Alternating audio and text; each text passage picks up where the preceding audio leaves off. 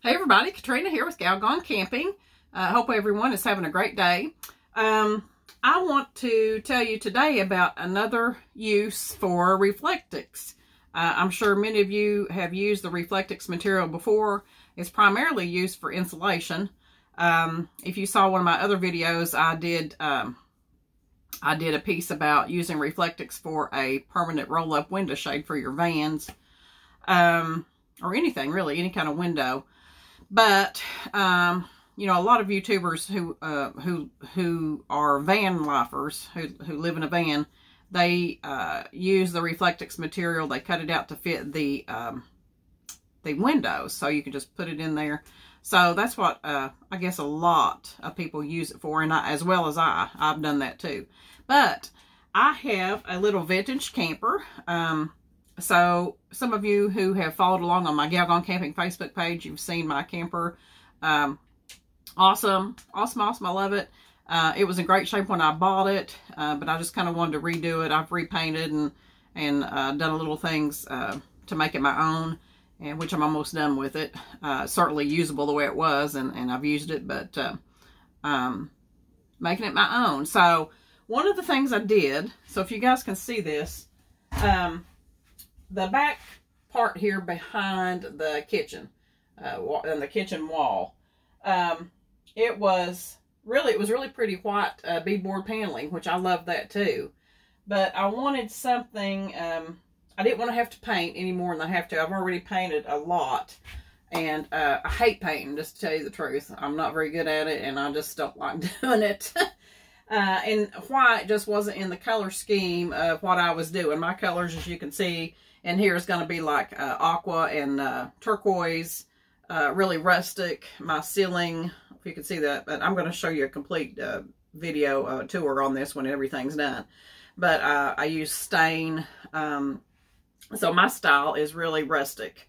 Um, so white doesn't go with anything that, that I do.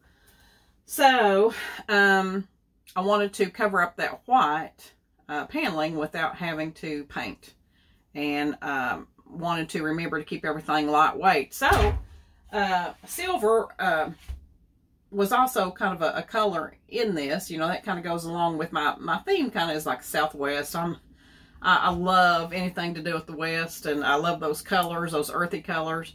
But um, I also used up here in the, uh, I'm bring this over here, you can see, you can see where my silver colors come in. But I use the uh, it looks like the tin ceiling panel. It's actually plastic. Got this at Lowe's. A lot of people use this if you've seen camper redos. And it's just such such great material for all kinds of things. But, so that's where my, you know, a little bit of silver pop come in here. And so I thought, well, what else can I do? I didn't, this is pretty expensive. This is like $20 a piece uh, for a little uh, sheet of it. So I didn't want to have to put any more money into it than I have to. I'm really watching my expense and using what I had. So um, I thought, well, what else, you know, with that silver color? So Reflectix was the perfect solution for this. So what I did is just cut out the Reflectix material and just stapled it, you guys. Stapled it right on there. It's lightweight. It provide, uh, provides insulation here on this wall.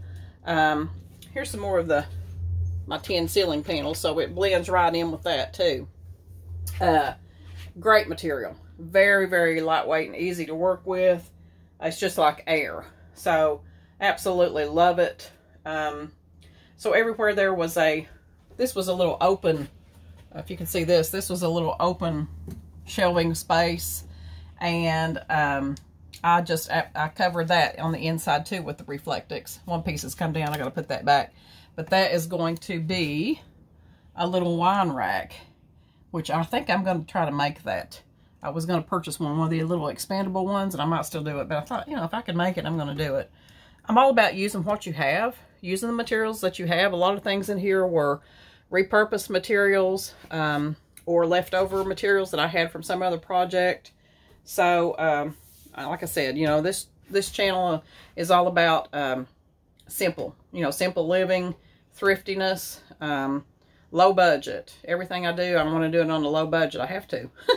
so those of you who uh, know what I'm talking about, you want to you want to do everything you can that is going to save you money. So, Reflectix, another great idea, another great use for it. And, you know, I may find uh, another use in here before I'm finished, but I'm almost done with it. And I, there's my color. There's my ceiling.